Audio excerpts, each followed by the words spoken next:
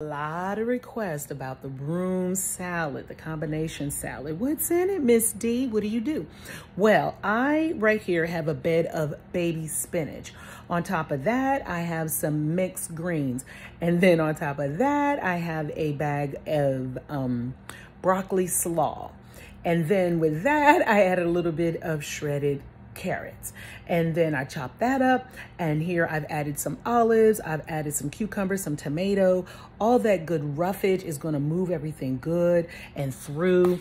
Um, I love Annie's Goddess Tahini dressing. I also love Ken's Italian Light um, vinaigrette, really, really delicious. I've had people come off of, you know, ranch dressing, utilizing that. I use cayenne pepper and a lot of good seasoning, some um, garlic, crushed garlic in here, some jalapenos if you like spice, some cayenne pepper. So a combination salad is like a lot of roughage, get it in your system.